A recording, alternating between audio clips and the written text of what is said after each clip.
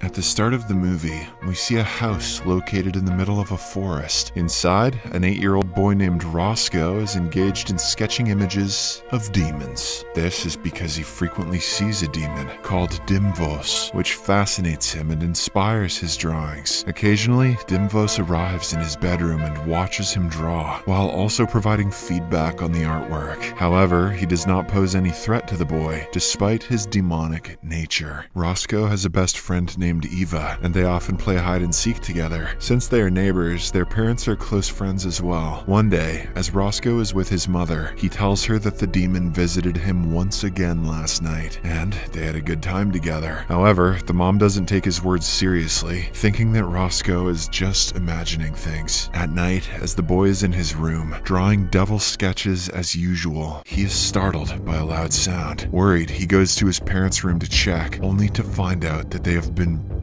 Burnt to ashes. This sends the little boy into a state of panic, and he starts running around the house. Out of nowhere, Dimvos confronts him, and Roscoe demands an explanation. However, the demon doesn't say anything, and simply leads the innocent Roscoe outside the house and into a mysterious hole. The scene then shifts to 20 years later, where some construction workers are building a house in the middle of a forest. We see that it's an isolated location with no settlements nearby. At the same time, on the other side of the forest, an adult Roscoe emerges from the cave that he had entered 20 years ago. He then rushes towards the bushes at breakneck speed, as if he's running away from something dangerous. After a while, he comes across the location where the construction employees are working. While the workers are busy with their job, Roscoe steals one of their bags and discovers a pair of jeans inside. He then wears those jeans and runs back to the place he used to live, which is now completely deserted. Ah, he wasn't running away from anything. He just didn't want anyone to see his demon dong. That evening, after a day of hard work, the construction workers gather around to relax and enjoy some drinks together. The group is having a good time until they are approached by a deadly demon named Ogrim. The sight sends shivers down everyone's spines, but before they can even react, Ogrim lets out a devilish scream, causing all the workers to collapse in pain. Following this, Ogrim approaches a guy and turns him into a demon using magic.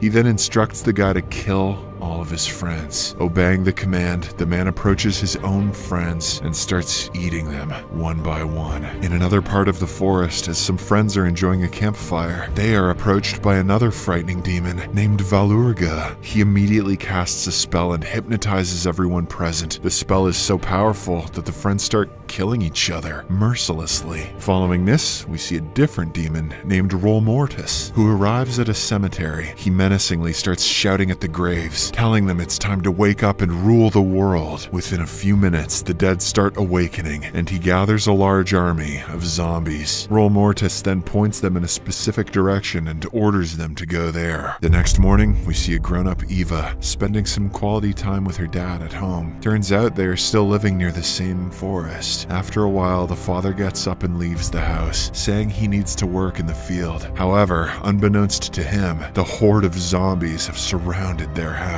When the father finally realizes their presence, it is too late, as the zombies surround him and brutally devour him alive. In the meantime, Eva hears her father screaming and becomes startled. She rushes outside to investigate, only to see the gruesome sight of her father being dismembered. Filled with rage, Eva quickly pulls out a gun and eliminates all the zombies present. However, to her horror, more zombies show up and start chasing her. Fortunately, she manages to get to her father's car and hastily drives away from there. In the next scene, as Roscoe is strolling around the forest, he stumbles upon Eva's car by chance. Recognizing the vehicle, he deduces that the girl is Eva, so he calls out her name. The latter is shocked to meet her best friend after two decades apart, and they celebrate their emotional reunion briefly. After this, Roscoe enters Eva's car, and the two of them drive to his old house. Once they arrive, Eva asks Roscoe where he had been for the last 20 years, and he begins telling telling her the story. The scene shifts back to 20 years ago, revealing how a young Roscoe descended into a mysterious hole after being summoned by Dimvos. It turns out the hole leads to an alternate dimension known as the Dark Womb. In other words, it's the place where all demons live. Dimvos takes on the role of Roscoe's mentor and teaches him black magic. The little boy also doesn't object as he considers Dimvos a friend. But whenever he talks about returning home, the demon insists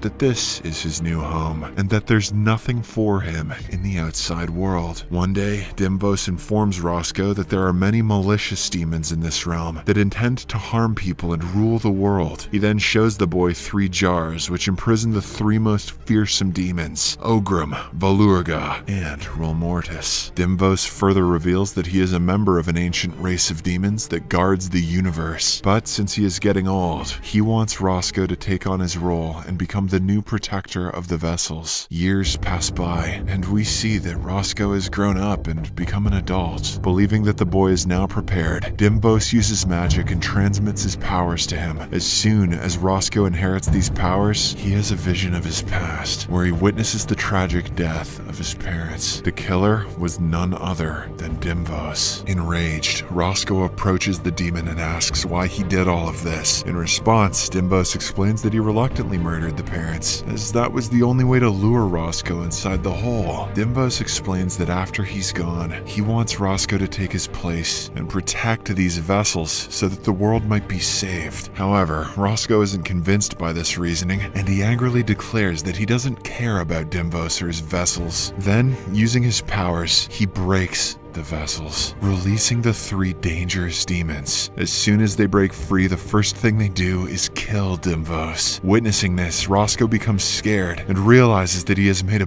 big mistake. He then rushes out of the hole, and following him, the three demons also arrive in the forest. Back in the present, Eva is shocked by the story, and she scolds Roscoe for causing such havoc and bringing the demons here. She also accuses him of being responsible for her father's death and begins hitting him. After that, she breaks down in tears, remembering her father, and Roscoe consoles her by claiming that he did not cause this on purpose. In the meantime, we see two hunters going through the forest in search of prey. One of them suddenly hears odd noises in the distance, and upon checking, he spots the demon Valurga eating a girl. Valurga also notices the hunter and quickly hypnotizes him. Following this, the hunter, who is now fully controlled by the demon, pulls out his crossbow and mercilessly kills his friend. Not far away, two girls are seen passing along the forest road, unaware that zombies are following them. After a while, they come across the hunter from earlier, wandering in the woods alone. Assuming that he needs help, and the girls get out of the car and call out to him, but he suddenly turns around and shoots one of them with an arrow. Seeing this, the other girl is horrified and starts screaming, but the hunter shoots her as well. She gets injured in the leg and cannot walk anymore. Unfortunately, a group of zombies arrive at the scene and devour her alive. That evening, a group of friends are having a house party when Ogrim suddenly appears. Without wasting any time, he casts a deadly spell on them, causing them to die one after another. He then hypnotizes the girls into being naked.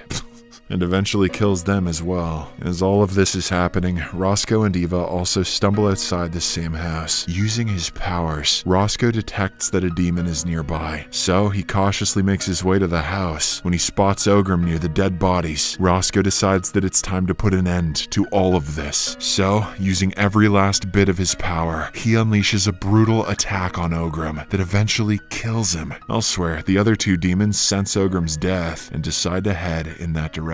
In the next scene, Roscoe returns home with Eva, only to discover that Valurga is already there. The demon strikes Roscoe, but our hero successfully counterattacks and injures him. However, he soon realizes that it is not Valurga, but a regular guy. It is the same construction worker from earlier in the movie, who is hypnotized by Ogrim. Feeling guilty, Roscoe uses his magic to resurrect the man, who soon heals and awakens. Why didn't he do that for Eva's dad? Following this, Roscoe Tells the guy that from now on, he must only kill demons and not regular people. The guy obliges without any hesitation, and he rushes to the cemetery where he eliminates all the zombies one by one. Sometime later, he encounters Rol Mortis, the leader of the zombies. The guy heroically takes out one of his horns and also crushes his eyes. After a fierce struggle, he eventually prevails and manages to kill Rol Mortis. That's right, a resurrected construction worker killed one of the most powerful demons in history. The following morning, as Roscoe and Eva are walking through the forest, they come across Valurga, the final and the most powerful demon. Roscoe tries to kill him using his best abilities, but the demon is so strong that he doesn't even budge. While Roscoe chants his spells, the demon starts laughing maniacally. Eventually, he unleashes his powers and finishes off Roscoe and Eva